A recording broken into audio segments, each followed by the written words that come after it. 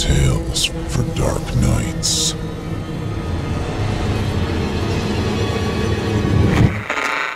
Want to make sure you never miss a Chilling Tales for Dark Nights video again?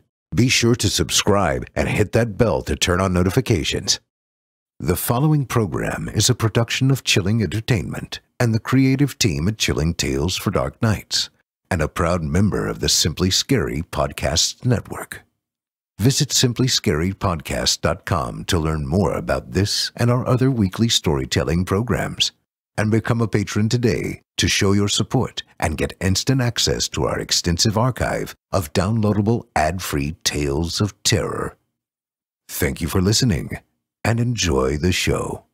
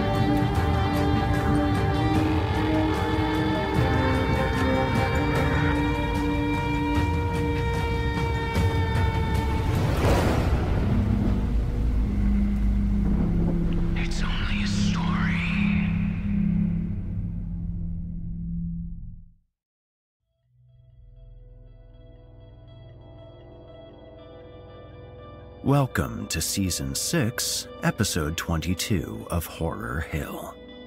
I'm your host, Erik Peabody, and I need to start this episode by apologizing about the state of my voice. As you can probably hear, your good pal Erik has come down with a head cold.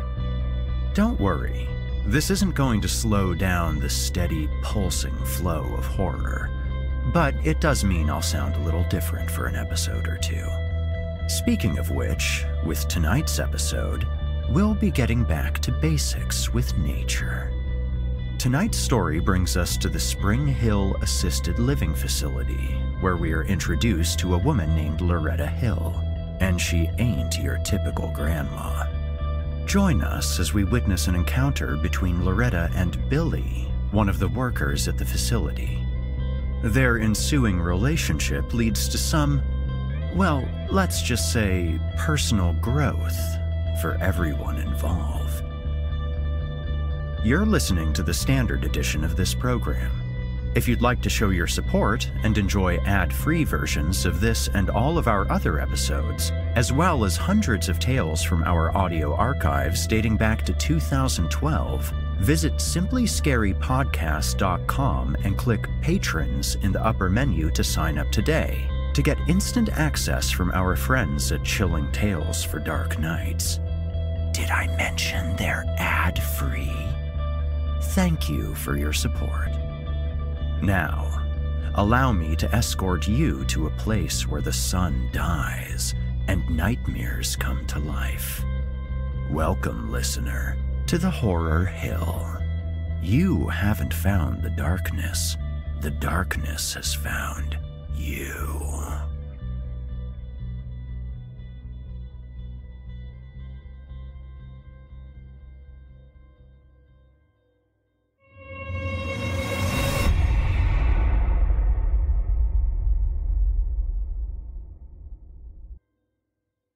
And now, from author Eric Montag, I give you Mother Mushroom. Loretta Piper was new to Spring Hill Assisted Living, the facility where Billy Cosberg worked almost full time as an aide, but it wasn't long before she cornered him. About three weeks into her brief stay, when he changed the sheets on her bed, she rolled her wheelchair over and shut the apartment door. So, she said as he put on a pillowcase, what do you sell? Billy stopped cold. Sell? Loretta nodded and waved her hand like he could tell the truth already. Meth? Coke? Pot? Her other hand was already digging in the pocket of her red knit sweater. She freed some tissues, a Carmex, and a baggie of shriveled grapes. Without hesitation, she held the baggie out to him. Try one, she offered. Billy had no idea what to say. He did sell. In fact, he sold plenty. He had customers a hundred miles away, but Loretta didn't look like any customer that he had or wanted. He shook his head and looked toward the door. Loretta smiled broadly. There's a fine business opportunity here, Billy, if you've got the brains and balls for it. She rolled toward him by moving her wheelchair with her purple stocking feet. Her thin fingers still clutched the bag. What makes you think I'm interested? Billy asked. He eyed the baggie and saw that it contained little red mushrooms. You haven't got brains and balls? Loretta asked. Billy looked at her for a long time. He reached out and took the baggie, looking around as he did. He opened the baggie and sniffed. They smelled odd, but wonderful. A bit like bacon. Not what he would have expected from mushrooms. It would be crazy, he thought, to take a mushroom here at work. He never took meth and only smoked weed Thursdays through Sundays on account of his job. He had never even tried a mushroom. But before he knew it, a mushroom was in his mouth. He felt warm almost immediately. The warmth started in his gut and spread out over his body like warm arms sliding around him on a winter's day. He stood there for a moment, chewing slowly and thinking things over. Even his teeth began to warm. Those shrooms sell for 30 bucks apiece, Loretta said. Bullshit, he said and licked his teeth. Want to give them back then? Loretta asked. No, he did not want to return them, and she saw that. The warmth was settling into his groin, and it felt awesome. Take the baggie home, enjoy yourself, and share with that special lady in your life. Stop by tomorrow. She winked at him, still smiling. She looked like a woman who had probably sold many used cars in her prime. He took the baggie home and told Kelsey, his fiancée, to try a couple. She did. He tried two more. Then they had incredible championship marathon sex and passed out. When he awoke, he was sure of two things. He needed more mushrooms, and he could sell them for at least $35 each around here, probably 50 in Minneapolis or Milwaukee. He went to visit Loretta, closing the door himself this time. He handed what was left of the baggie back to her, although it pained him to do it. He had kept 10 mushrooms in a little baggie of his own at home. I could maybe sell these. I don't know. How much do you have? Loretta accepted the baggie and dropped it into her lap like it didn't mean a thing. This baggie, she said. That's it? Billy said. You want to do business for half a baggie of mushrooms at 20 bucks a piece? I'm not running a garage sale. I need more than a baggie. I need flow, constant flow. He hoped she had not wasted his time. He had already called his buddy Steve to come and check out the mushrooms that he still had at home. Steve was from Superior and had connections throughout Canada. If Steve liked them as much as he did, they could sell every mushroom this woman had. Have to grow more, she replied. Grow more, Billy snapped. And how do I do that? Do I look like a guy that grows mushrooms for fun? Loretta beamed. No, she said, but you do look like a guy who wants not to work here anymore.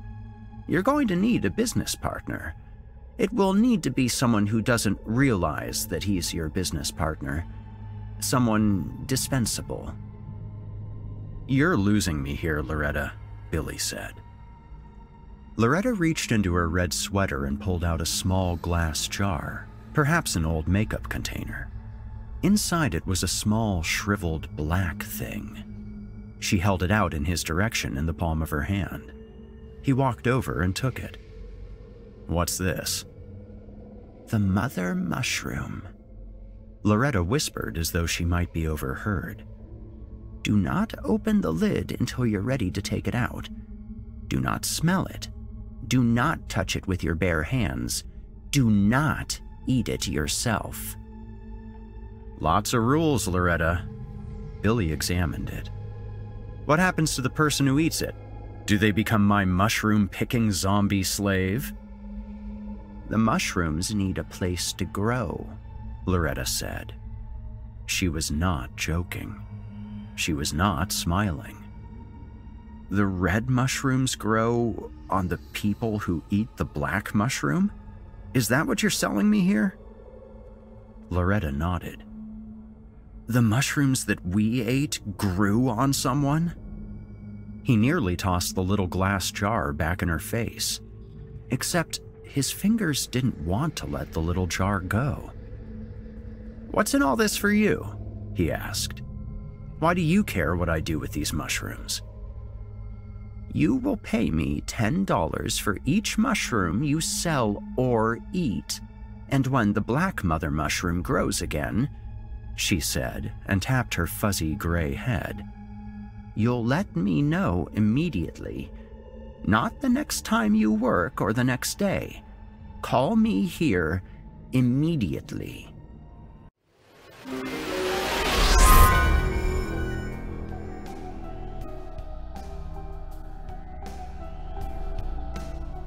This episode of Horror Hill is brought to you by Green Chef.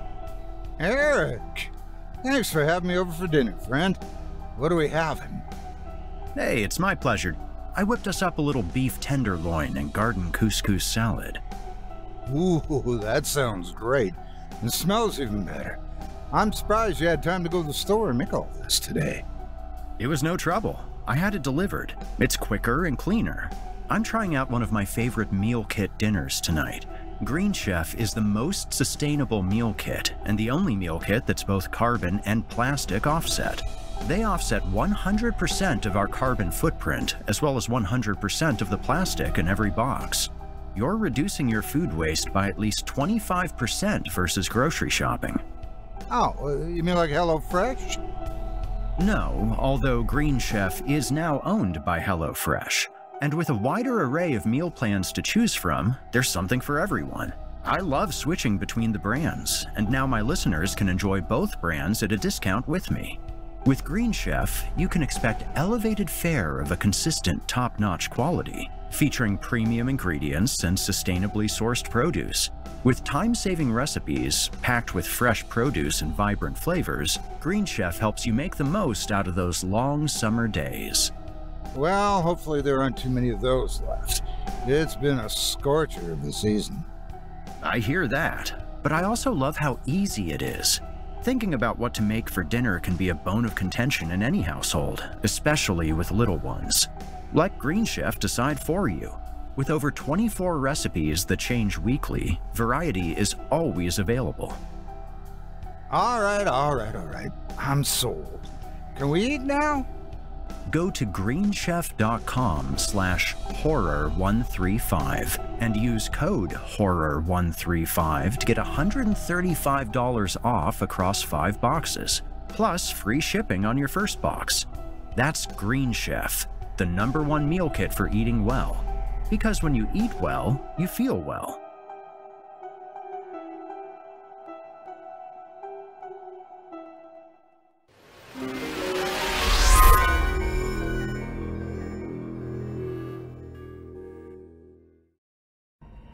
Billy wondered how she would enforce that.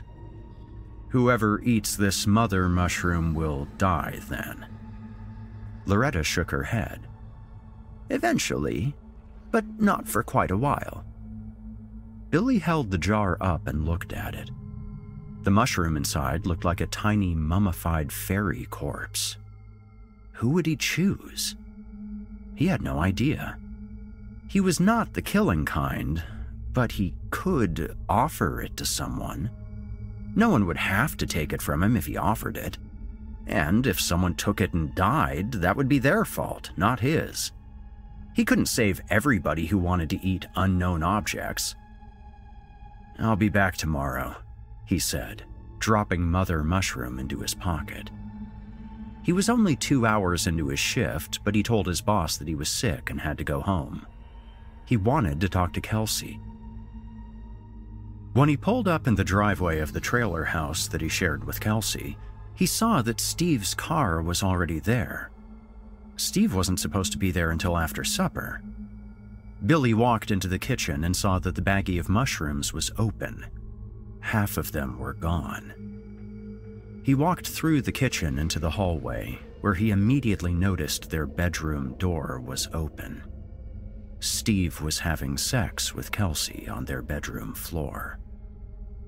From where he stood, neither of them even saw him. They were too busy grunting like animals. Billy could barely see part of a dragon tattoo that Steve had on his shoulder as he lay atop her. Billy's heart filled with cement. He stood there for what seemed like ages and then turned around and walked back into the kitchen. He walked past the kitchen knives, past the junk drawer with the hammer, and out to his car. His gun was waiting patiently in his glove compartment, but as he dug in his pocket for his car keys, his fingers brushed Mother Mushroom's jar. Billy left and spent the day walking in the woods. He returned home at four o'clock, his standard time. Kelsey was gone to work by then. He helped himself to some supper. Then he stood at his bedroom door, staring down at the floor, and wondered how long this had been going on. He had known Steve for almost four years now. He had been with Kelsey for five. Five years down the toilet with nothing to show for it. She had already picked out a reception hall for their wedding. She had baby names picked out. He even had a few names of his own in mind. Maybe today was the first time. Maybe the mushrooms had made her do it. Maybe Steve had taken advantage of her shroom induced horniness. Last night, when she had eaten her mushrooms, she had also told him about the warm arms on her body. She had even described the warmness for him during sex. When Steve arrived at 7:30, he apologized for being late. Said he had gotten a late start. Billy told the lying bastard that his tardiness was perfectly okie dokie. However, Billy saw that Steve's eyes went directly to the baggie of mushrooms on the kitchen table. It was almost as though he had seen them before and knew exactly where they would be. Billy picked up the bag of mushrooms and went to the living room. So, who did you get these from? Steve asked. A friend, Billy replied. I'm pretty excited about them, and I know you will be too once you try them. I thought they could go to Minneapolis or maybe Toronto. When he turned to look at Steve, he saw how wide Steve's eyes were as he looked at the baggie dangling from Billy's hand. He looked like a cat watching a mouse. Steve nodded. I've had some good ones. I bet you have, Billy said, and handed the baggie over. Help yourself. I'll get you a chaser. Billy returned to the kitchen and grabbed a Bud Light from the fridge. He always kept Bud Light on hand for when Steve came down. Billy was prepared for his friend's visits, although probably not as prepared as Kelsey. He opened the beer, tossed the cap aside, and then thought about unzipping his pants and rubbing his balls on the mouth of the bottle before returning to the living room. Maybe he'd save that treat for Steve's second beer. Billy watched Steve eat two little red mushrooms, one after another, almost as though he knew how they would affect him. God, these are good. Steve drained the bud. They're like fire running everywhere under my skin. Everywhere, even my nuts. Billy asked Steve some business questions and how much he was moving over the Canadian border. Steve's answers were mostly vague and unhelpful. Steve asked a lot of questions about where Billy had managed to find a friend that had such beautiful mushrooms. Billy's answers were also vague and unhelpful. When Steve was high and smiling from ear to ear, Billy decided to invite Mother Mushroom to the party. He reached into his jeans pocket and pulled out the little glass jar. The red ones are good, really good. But you know what's even better? The black ones. Steve eyed the jar, his eyes shaking in his skull, and Billy knew immediately that he wouldn't have to push very hard to make this happen. Steve held out his hand. I'll be able to sell these, he said. He held up the jar with the black mushroom inside. Wow, this is ugly. Try it, Billy offered. It makes the red ones look like Cheetos. You've had one? Steve asked. He unscrewed the top of the jar. Billy's answer to Steve's question would not have mattered at all, but he lied anyway. Yup. And like that, Mother Mushroom was in Steve's hand, and then it was in his mouth and gone. A thought occurred to Billy then that had honestly never occurred to him before. It was foolish to put something in your body when you didn't understand it, and it further occurred to Billy that he had made a living by convincing people to do this very thing. I'm gonna have to crash here, Steve said. Absolutely, Billy agreed and almost laughed. I couldn't let you leave now. I'll be gone in the morning. They talked for a while. Billy agreed to get as many mushrooms as he could. Steve agreed to sell them. They agreed on $40 per mushroom, 60 in the cities. They watched South Park. Billy gave Steve more beer, only unzipping his pants and rubbing his balls on the mouth of the third one. Steve drank and eventually passed out. Billy sat in his chair and watched Steve lie on the couch and sleep. Kelsey would be home at 11:30 when her shift ended. Maybe he would go to bed then. Perhaps he would stay out here and keep an eye on Steve. He wanted to see what would happen. Maybe Loretta was going to put one over on him. Maybe Mother Mushroom wasn't going to do anything. Kelsey came home at her usual time. She noticed Steve and asked if he was drunk. Billy replied that he was and was going to stay overnight. Kelsey helped herself to the last remaining mushroom in the bag. She asked if he wanted to come to bed too, and Billy knew she wanted to have sex. He told her that his head was pounding and he didn't want to. She looked shocked and a little angry that he said no. She had always loved sex, and he could count on one hand how many times he had turned her down over the last five years. But he very much wanted to keep an eye on Steve. That, and he suspected very strongly that it was the mushrooms talking. The mushrooms made people super horny. It was as simple as that. And that was why they would sell.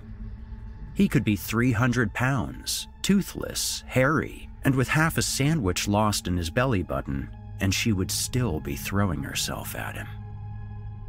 Billy ignored Kelsey's pouting as she went to bed and then sat in his chair and watched Steve sleep. He wondered if the mushrooms would be useful to guys who couldn't get boners. He supposed they might be. He would have to ask Loretta that. If so, they could charge a lot more than $60 a mushroom. He could run them right out of Spring Hill. It took about two hours for Steve to do anything noteworthy. At first, he seemed restless in his sleep and tossed and turned, so he faced away from the end table lamp next to his head. Then he turned his face down so it was away from the light. About 20 minutes later, he awoke or at least his eyes opened.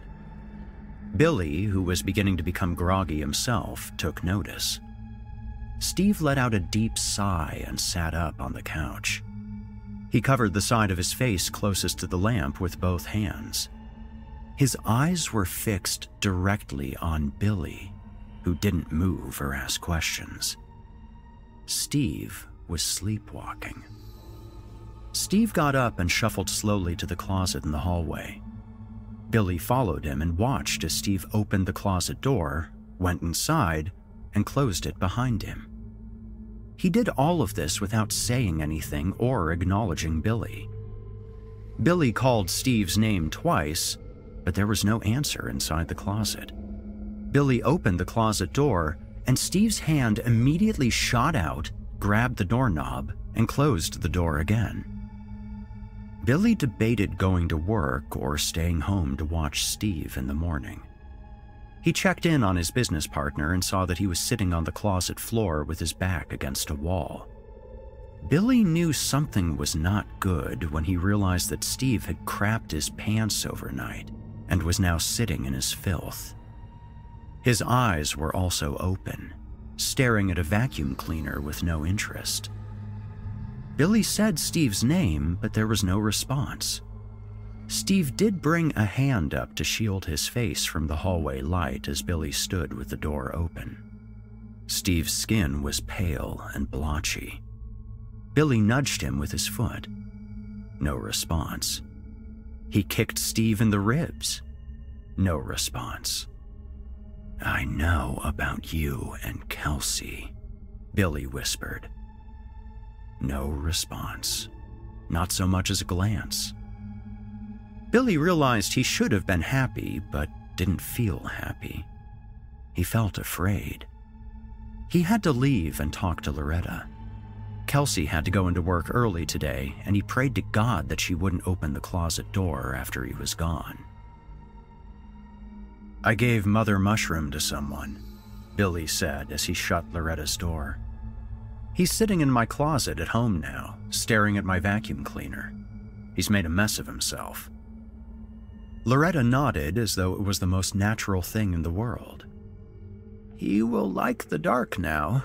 The darker, the better, especially after he starts sprouting. Any sign of Mother Mushroom yet on the top of his head? He'll be alive while he sprouts these mushrooms? Yes. The farmer needs to remain alive. That's important. So don't kill him. Any sign of Mother Mushroom yet? No. When is the sprouting going to happen? If he's in the dark, it may already be happening, Loretta said. You may be able to harvest a few small ones tonight. In the next few days, you'll have a lot more. If he's a big guy, you may have hundreds. Hundreds? Billy repeated. Like how many hundreds? I've seen some folks grow as many as 1,500 or 2,000 shrooms on one farmer. Billy let his fear and panic take a break and did the math. Using Minneapolis prices of $60 apiece would make Steve worth 120 grand. Steve the farmer. Damn right he was. Grow on, Steve. How do I get the mushrooms off of him? Scissors, Loretta said with a shrug. That's what I've always used. You are a brutal bitch, Billy said. But he said it with a smile and a laugh, as it was now fair to say that he was warming to Loretta a bit. A hundred and twenty grand will do that to a person, he supposed. How many times have you done this? Well, after I got Mother Mushroom, I quit my job, I can tell you that much. Loretta smiled back at him. Of course, I like to spend money too, so I'll need you not to forget to pay me the $10 per mushroom once you've harvested them. The smile faded and then disappeared. And I'll also need you to remember that you must call me immediately when Mother Mushroom appears. You need to know nothing more important than that. Old Mother gets strong fast. Sure, of course, Billy said. There was no way he would give back Mother Mushroom. No way in hell. Not when it could turn a sack of crap like Steve into over a hundred grand. As soon as she. I mean, as soon as it starts to grow, as he said. Can't I just cut the black mushroom off, find another person immediately, and start the process over? Did I stutter? Loretta snapped, and Billy found himself taking a step back from the little old lady in the wheelchair. I will deal with her. She leaned forward in her chair and then stood up. She was tall, very tall for a woman, over six feet at least. Don't ignore me when I speak to you, and don't fuck with me, she said. The graveyard's full of people who fucked with me. She rubbed her fingers together, and Billy thought he smelled something burning for a second. Something electrical. Then her fingers spasmed out as though she had been shocked, and she fell back down into her wheelchair. She was desperate, which only made Billy more sure that he would never bring Mother Mushroom back. Fine, he agreed and nodded. He thought that he should probably bring a knife or something the next time he visited Loretta. He could hardly wait to get home, and when he did, he went right to the hallway closet. Steve shrunk back from the light, but otherwise did not acknowledge him. There was a small mushroom growing on the back of Steve's right hand. Billy poked the mushroom with his finger. Yup, it felt mushroomy to him. Steve didn't react at all. Billy gripped the little mushroom by its stem and tugged at it. It stayed rooted to the skin. Billy already had the scissors from the kitchen and he used them. The mushroom cut free quickly enough, and there was hardly any blood at all. He dropped it into a little baggie. Steve only blinked and made no other movement. Another one was growing on Steve's neck, so Billy snipped it off. Again, there was only a tiny bit of blood. He found Steve's stench challenging to tolerate as he worked closely with Steve. He stunk the whole area, as he appeared to have self fertilized several times. Kelsey was terrible at keeping house, but she would probably notice the smell of human waste in their hallway, and he had to get rid of Steve's car before she got home. He only had about an hour. He moved Steve's car out of the driveway and behind the garage, where Kelsey would never see it. As he walked back up to the trailer, he looked at the panel that blocked the crawl space beneath their trailer and had an idea. He went back inside and returned to the closet. How about we go for a walk, Steve? Let's find a nice dark place for you, Billy said. He tugged at Steve's shirt. If he couldn't get Steve to stand up on his own, this would become a problem. Steve was too heavy to carry. But, as luck would have it, the Lord's face shined down upon his efforts, and Steve reluctantly stood up.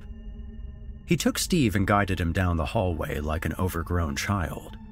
He remembered his crack about whoever ate the mushroom turning into his mushroom picking zombie slave. As it turned out, he had been mostly right about that.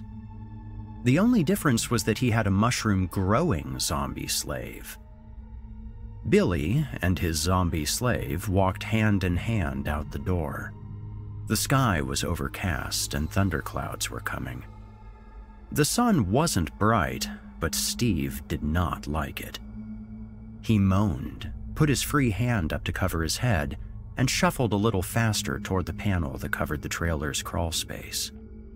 Billy made him stop just long enough to snip three more decent sized mushrooms off Steve's neck.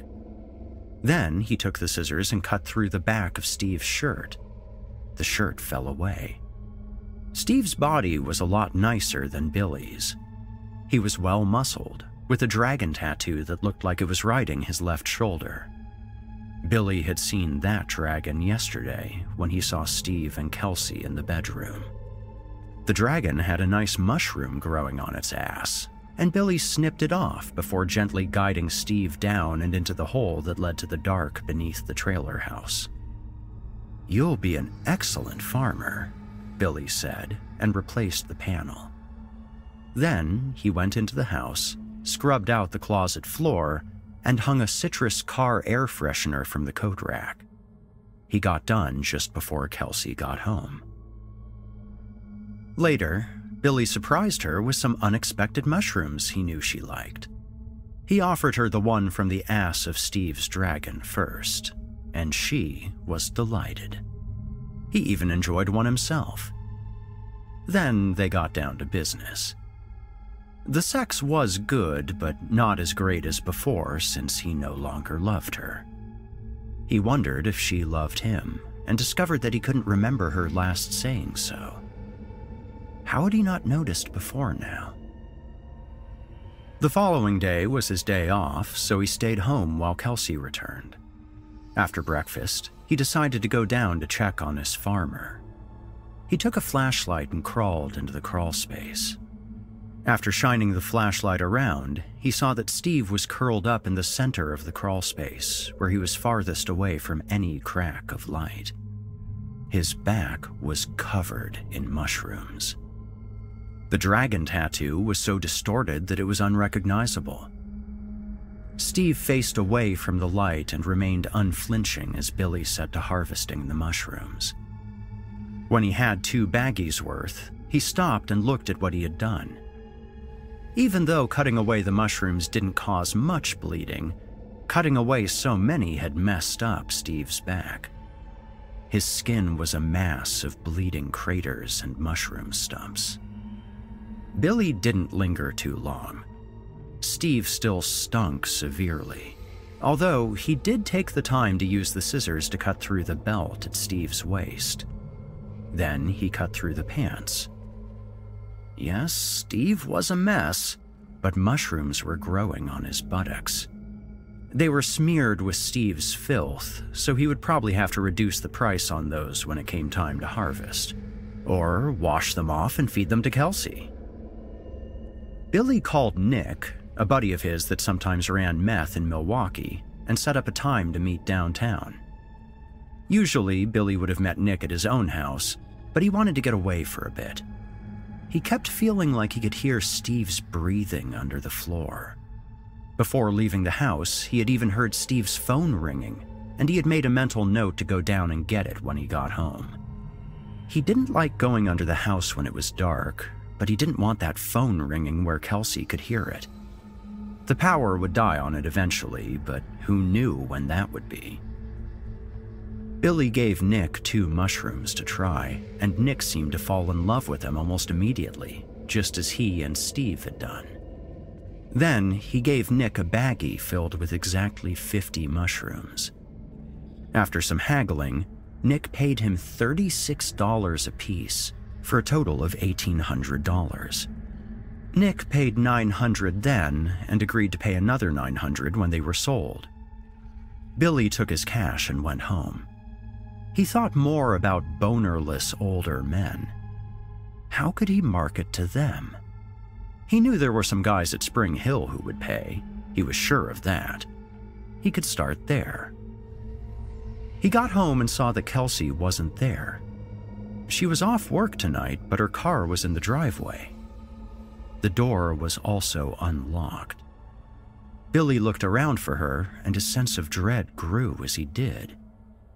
When he returned to the kitchen, he saw that her phone was sitting on the dining room table. He knew her password and unlocked it. Her screen displayed a message saying that a call placed to Stephanie had ended. It also showed that Stephanie had the same phone number as Steve.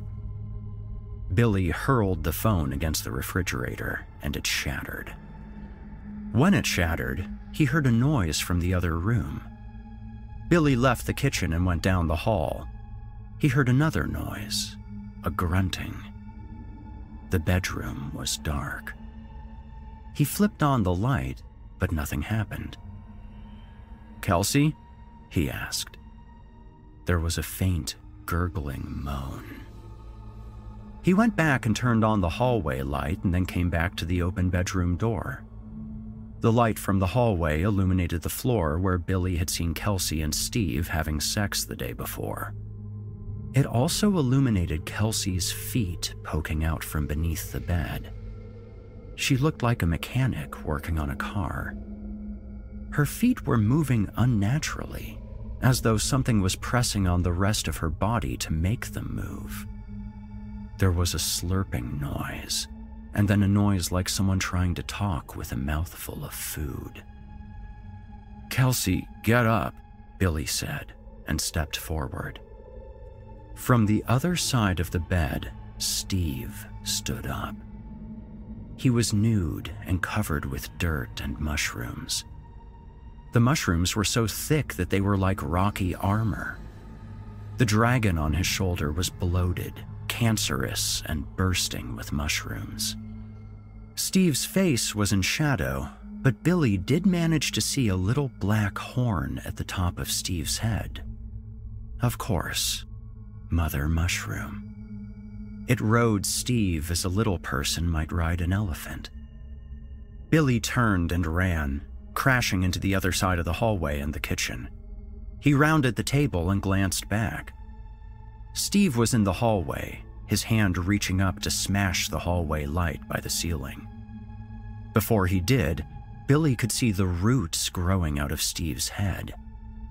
Thin roots erupted from his skin and buried themselves in Steve's eyes, lips, ears, and nose. Steve's face was coated with blood. Then it was lights out.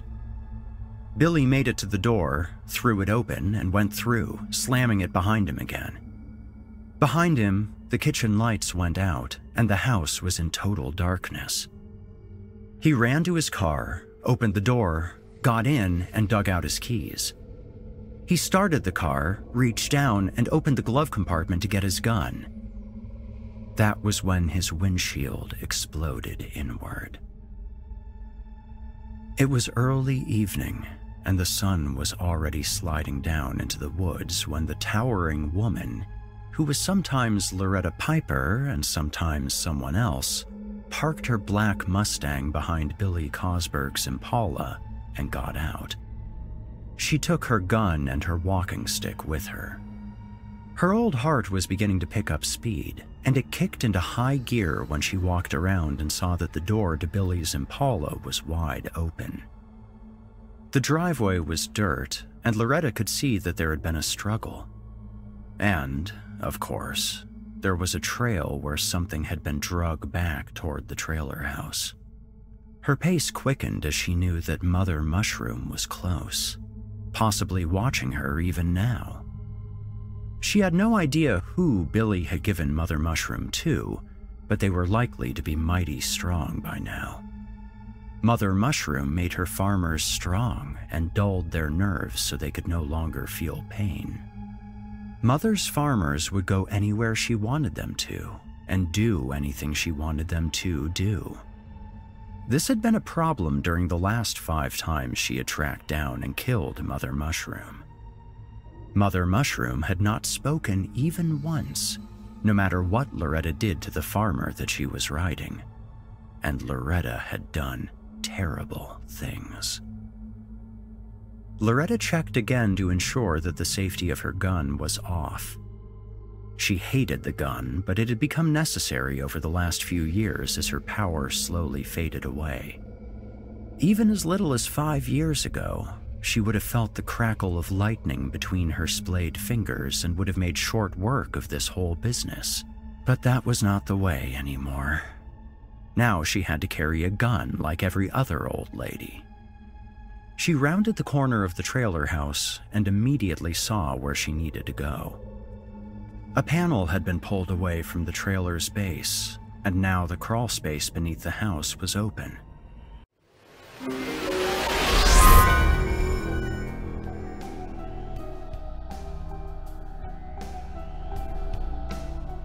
Are you tired of playing the Hunger Game? You know the one. The, hey, what do you want for dinner game? The one where there never seems to be a winner or loser. Well, now Green Chef has your back on that. With Green Chef, you can expect elevated fare of a consistent top notch quality, featuring premium ingredients and sustainably sourced produce. Green Chef now offers more variety and flexibility than ever before with double the choices. Families are more likely to eat healthier food cooked at home if they have the ingredients readily available. Green Chef brings you healthy, delicious meals to your doorstep, complete with instructions and portioned ingredients. Well, what if your diet's atypical? You know I'm a meat eater. Members of the household eat differently. Now you can order meals to suit every lifestyle vegan, vegetarian, keto plus paleo, Mediterranean, fast and fit, and gluten free, all in one box. Well, that's good. Oh, wow. This is really tasty. Exciting and delicious meals also help support a healthy lifestyle. Green Chef keeps mealtime interesting without sacrificing taste. Green Chef's expert chefs curate every recipe so you can enjoy restaurant quality dishes at home without compromising flavor. Some of my favorite Green Chef recipes include the delectable steak butternut squash salad and the luscious lemon basil caper pork. Green Chef is the number one meal kit for eating well, with dinners that work for you, not the other way around. As the only keto meal kit, Green Chef makes sticking to a, well, carb conscious lifestyle easier. It's never been easier to eat better, so what are you waiting for? Go to greenchef.com slash horror135 and use code horror135 to get $135 off across five boxes, plus free shipping on your first box. That's Green Chef, the number one meal kit for eating well. Because when you eat well, you feel well.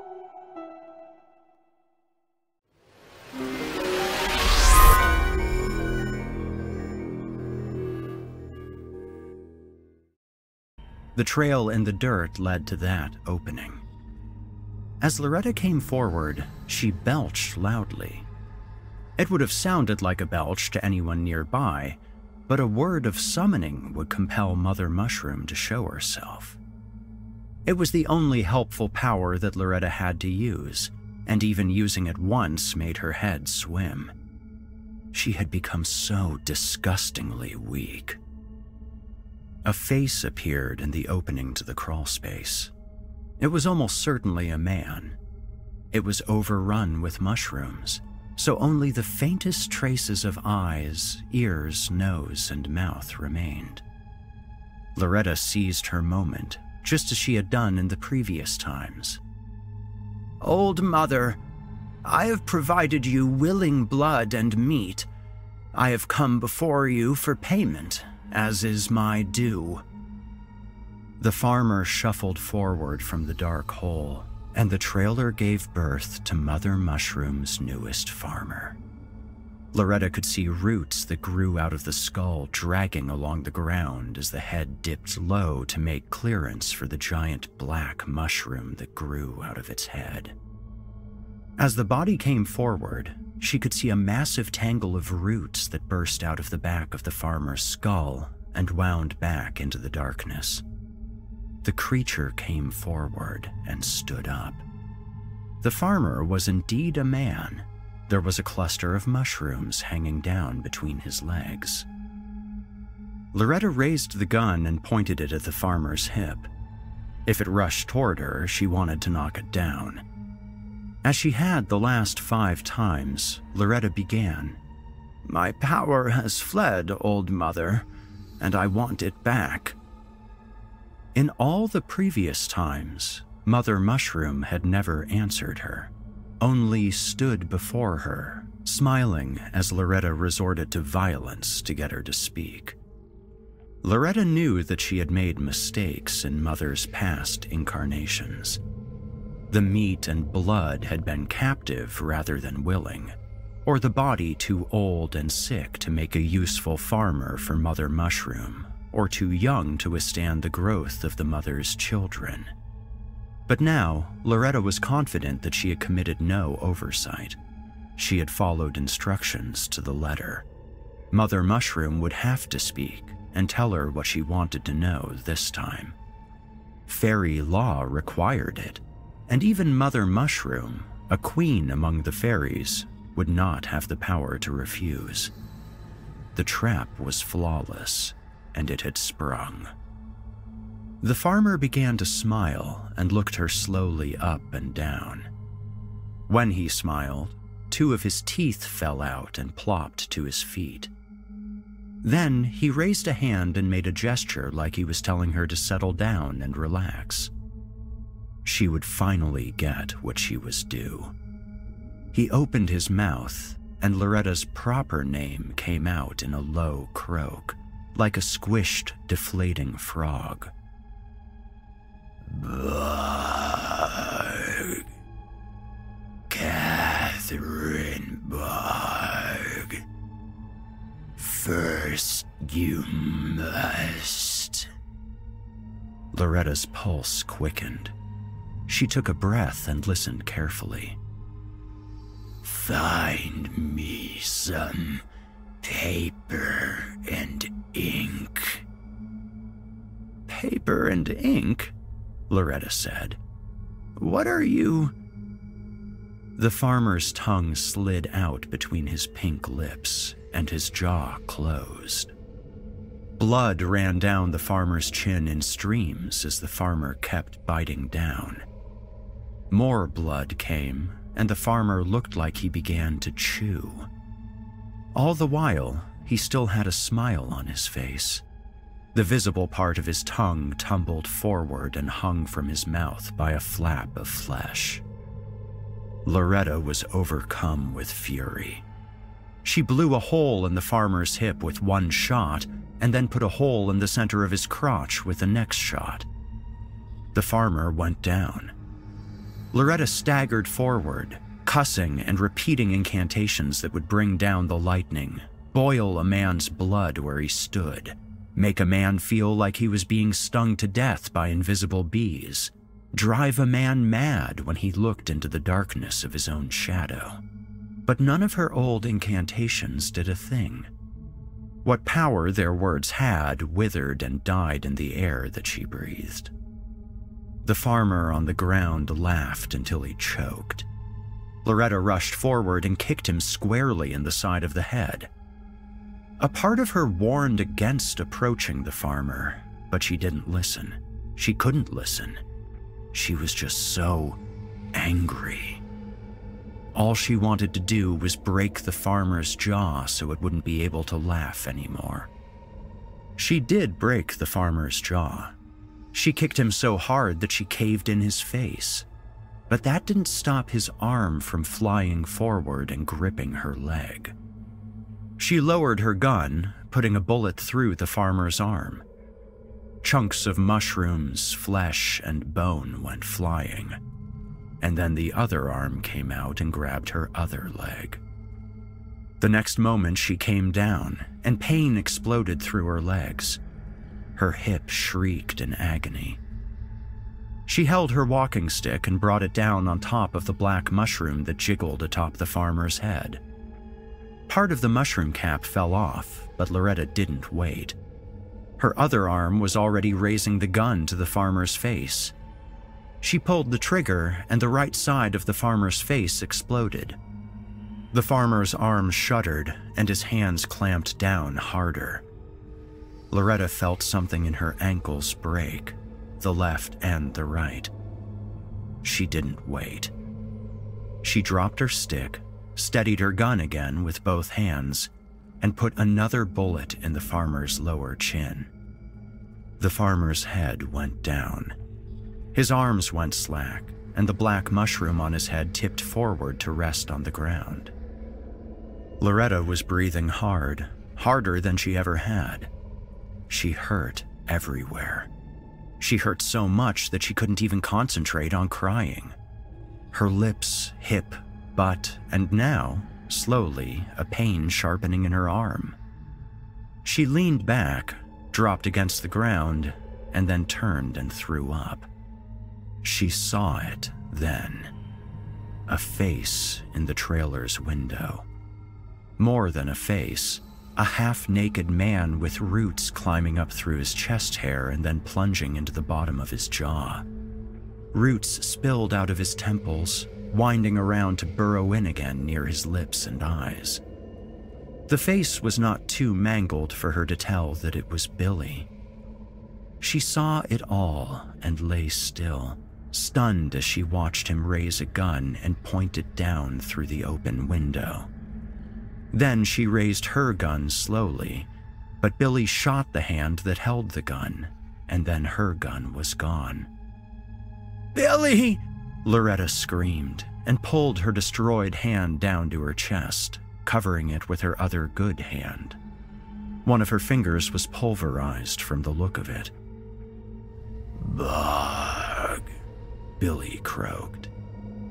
Catherine Bog, you old crone. Off to her right, Loretta could hear a shuffling noise. She turned and saw something else crawling forward from the darkness beneath the trailer. It was another human, with roots growing into its head. It was a woman with long hair that draped down to cover her face and roots piercing her scalp. Those roots came from the back of the farmer's head. The woman crawled slowly and breathed very loudly. She was impossibly thin and skeletal, with skin draping off her body like loose fitting clothing. She did not look up, but she moved straight towards Loretta. Loretta had never read about Mother Mushroom having more than one farmer at a time, but she supposed there was a first time for everything. Loretta removed her good hand from her shattered right hand and reached over as best she could to try and claw the black mushroom off the farmer's head. She was nowhere near close. Billy's voice came down like a fog that settled over her. Blood is the answer, Catherine. You need blood to get your power back, and I need blood to raise my children. Together, we shall find blood. Great rivers of it and we will drink our fill. You will be powerful, and I will be many. When the crawling woman reached Loretta, she took hold of her leg and yanked her closer to the motionless farmer. Loretta lost herself and screamed. She repeated every incantation that she knew willing the body of the crawling woman to blow apart in any number of ways, but none of them worked. Loretta screamed like an animal, like she had never done before in her 211 years. And then the woman looked up, and Loretta could see that roots had sewn her mouth shut, and her eyes were so sunken and miserable that Loretta knew at once that whoever the woman was, whoever she had been, she was still inside her body. Her face was filthy, with tear streaks in the dirt, and something had been chewing on her ears. She grabbed Loretta by the hair and pulled her head down to where the black mushroom rested against the ground at the top of the farmer's head. She pulled so hard that Loretta felt the mushroom's skin press against her lips. The mushroom was warm and pulsing drinking deeply of whatever was inside the farmer's head. Loretta was terrified and struggled against the crawling woman's iron grip because she knew what her end would be. She knew what Mother Mushroom wanted. She wanted what she had never had a witch farmer. But she also knew that Mother Mushroom smelled wonderful like blood and sun and sex and life. And, yes, bacon. In moments, thin roots rose off the farmer's body and began to slide toward her. The woman who sometimes was Loretta Piper and sometimes someone else. Still, as always, Catherine Bog found herself unable to resist opening her mouth.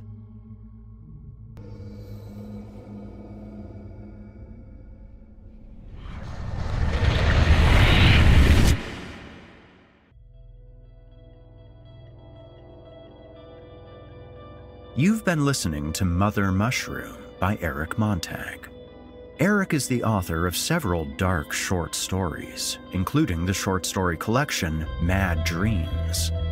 His most recent dark short stories include Thinning the Herd, which won third place at the Milwaukee Paranormal Conference, CultOfWeird.com 2016 Summer Writing Contest, and Anything, which was featured in the 2017 edition of Creative Wisconsin.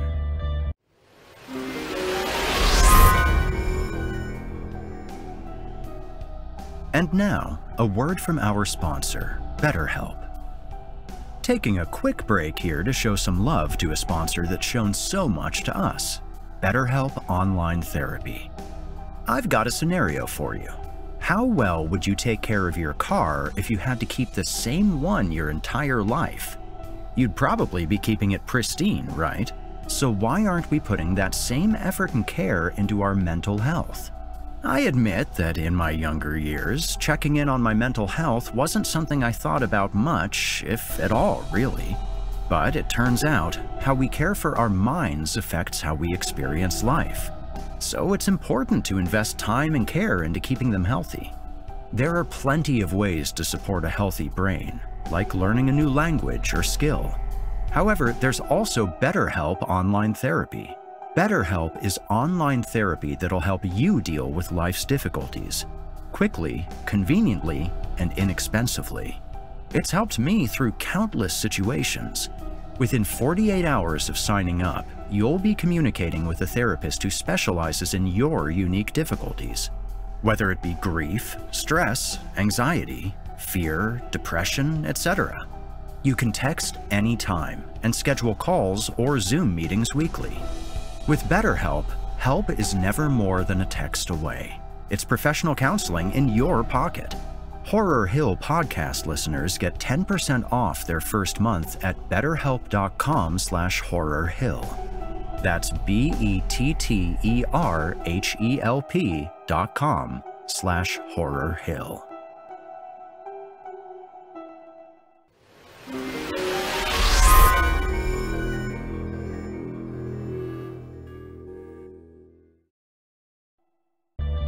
Thank you so much for tuning in this evening. I'm your host, Erik Peabody, and I'll see you right here at this same time next week for more terrifying tales, sinister stories, and frightening fables. All that good stuff.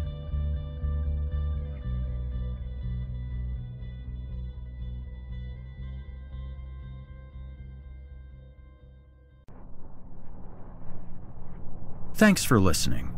You've been listening to the Horror Hill Podcast, a production of Chilling Entertainment and the creative team at Chilling Tales for Dark Nights, and a proud member of the Simply Scary Podcast Network.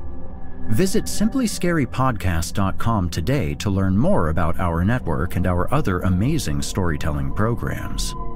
Tonight's episode was hosted by, and its featured tale performed by, yours truly, Erik Peabody. Selected stories have been adapted with the kind permission of their respective authors. Original music provided by Felipe Ojeda.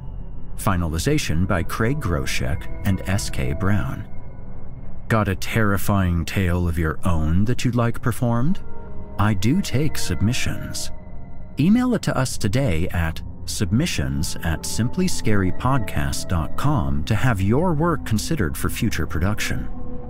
If you enjoyed what you heard on tonight's program and are joining us on your favorite podcast app, please subscribe to us to make sure that you never miss an episode and leave us a five star review and a kind word. Your feedback means a lot to me. You can also follow Chilling Tales for Dark Nights and yours truly on social media to connect anytime and get the latest updates on this and our other programs.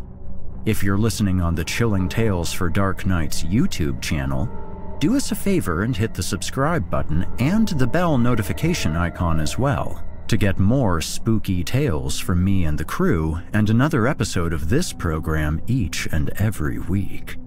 And don't forget to hit the thumbs up button to let us know how we're doing and leave a kind comment. Lastly, don't forget to visit us at chillingtalesfordarknights.com and consider supporting the team by becoming a patron. In addition to helping us out, you will get exclusive access to our audio archives and ad free downloads of all your favorite stories, including those you've heard on this program. As for me, you can hear more of my work on the Chilling Tales for Dark Nights podcast. However, I will be back next week with more terrifying tales to keep you up all night. If darkness is what you're after, listener, your search is over. Yet, let it be known, you haven't found the darkness. The darkness has found you.